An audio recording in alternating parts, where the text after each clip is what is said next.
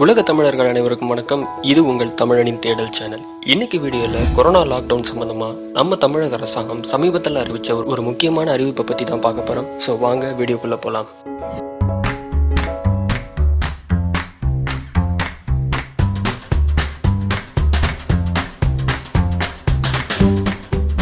வீடியோக்குள்ள போகிறதுக்கு முன்னாடி நீங்கள் இது வரைக்கும் நம்ம தமிழின் தேடல் சேனலை சப்ஸ்கிரைப் பண்ணலன்னா கீழே இருக்கிற ரெட் கலர் சப்ஸ்கிரைப் பட்டனை கிளிக் பண்ணி எங்கள் சேனலை சப்ஸ்கிரைப் பண்ணிக்கோங்க. அண்ட் பக்கத்தில் இருக்கிற நோட்டிஃபிகேஷன் பெல் ஐக்கானையும் கிளிக் பண்ணிக்கோங்க.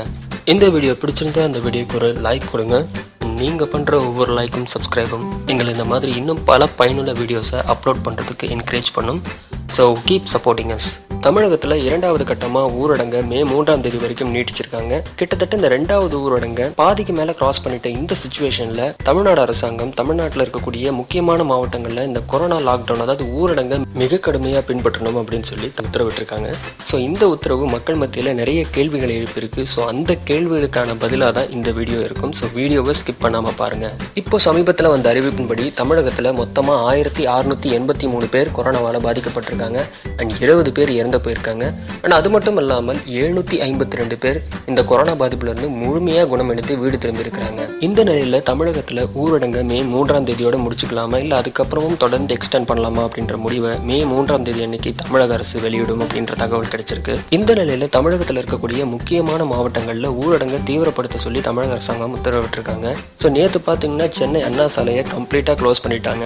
அண்ட் அது மட்டும் இல்லாமல் சென்னை மதுரை கோவை திருப்பூர் சேலம் இது மாதிரியான மாவட்டங்கள்லாம் வர ஏப்ரல் இருபத்தி ஆறாம் தேதியிலிருந்து இருபத்தி ஒன்பதாம் தேதி வரைக்கும் ஊரடங்கை ரொம்ப ரொம்ப கடுமையாக ஃபாலோ பண்ணணும் அப்படின்னு சொல்லி உத்தரவிட்டிருக்காங்க. அண்ட் அந்த சமயத்தில் பொதுமக்கள் யாரும் எந்த ஒரு காரணத்துக்காகவும் வீட்டை விட்டு வெளியில் வரக்கூடாது. மிக மிக அத்தியாவசிய தேவைகளுக்காக தான் பொதுமக்கள் வெளியில் வர முடியும் அப்படின்னு சொல்லியிருக்காங்க. எந்த ஒரு கடைகளும் திறந்திருக்காது. அத்தியாவசிய தேவைகள் எல்லாமே வீடு தேடி வரும் அப்படின்னு சொல்லி தமிழக அரசாங்கம் சொல்லியிருக்காங்க.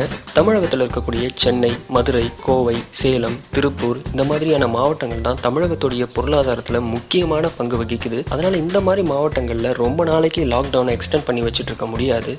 அது தமிழகத்துடைய பொருளாதாரத்தை ரொம்பவே பாதிக்கும். அதாவது மே மூணாம் தேதிக்கு அப்புறமும் இந்த மாதிரியான மாவட்டங்கள்ல எல்லாம் ஊரடங்கை நீட்டிச்சா தமிழகத்துடைய பொருளாதாரம் மிகப்பெரிய வீழ்ச்சி அடையும். அதனால இந்த மாவட்டங்கள்ல கொரோனா பாதிப்பு இன்னும் அதிகரிக்காம இருக்கிறதுக்கும் இருக்கிற பாதிப்புகளை குறைக்கிறதுக்காகவும் இந்த இருபத்தாறாம் தேதியிலிருந்து இருபத்தி ஒன்பதாம் தேதி வரைக்கும் ஊரடங்கை மிக மிக கடுமையாக்குறது அப்படிங்கிறது தவிர்க்க முடியாத ஒரு விஷயமா இருக்கு.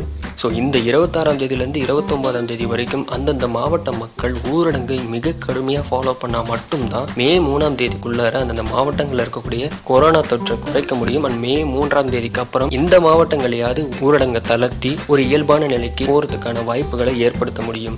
இனி வரும் நாட்களில் அந்தந்த மாவட்டங்களில் தீவிரமான கொரோனா சோதனை மிக அதிக அளவில் நடத்தப்படும் அப்படின்னு தகவல்கள் வந்திருக்கு. ஸோ இந்த மாவட்டங்களை பர்டிகுலராக சூஸ் பண்ணதுக்கு இன்னொரு காரணமும் இருக்கு. ஏன்னா தமிழகத்திலே மிக அதிக பாதிப்பை சந்திச்ச மாவட்டங்கள் இவைதான். சென்னையில் மட்டும் நானூறு பேர் கொரோனாவால் பாதிக்கப்பட்டிருக்காங்க.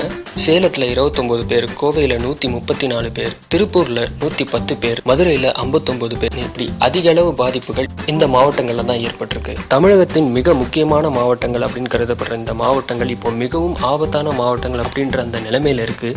ஸோ இந்த நிலையிலிருந்து அந்த மாவட்டங்களை இயல்பான நிலைக்கு நம்ம கொண்டு போகணும்னா தமிழக அரசாங்கத்துடைய இந்த வழிமுறை தான் ஒரே வழி. அதனால் அந்தந்த மாவட்ட மக்கள் அரசாங்கத்தோட ஒத்துழைச்சு இந்த ஊரடங்கை மிக கடுமையாக ஃபாலோ பண்ணால் மட்டும்தான் அந்தந்த மாவட்டங்களில் இருக்கக்கூடிய கொரோனா பாதிப்புகளை குறைக்க முடியும். அந்தந்த மாவட்டங்களில் சீக்கிரமாக இயல்பு நிலையை திரும்புறதுக்கு அரசாங்கத்துக்கு ஒரு பேருதவியாக அது இருக்கும்.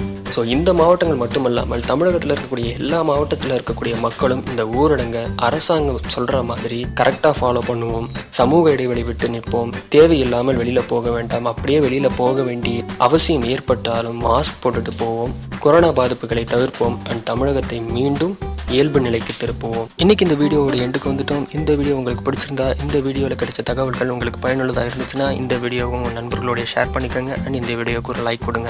அண்ட் எங்கள் சேனலை சப்ஸ்கிரைப் பண்ணிக்கோங்க. பக்கத்தில் இருக்கிற பெல் ஐக்கானையும் கிளிக் பண்ணிக்கோங்க. இதே மாதிரி இன்னொரு பயனுள்ள வீடியோவில் உங்களை வந்து சந்திக்கிறேன். அது வரைக்கும் நன்றி வணக்கம்.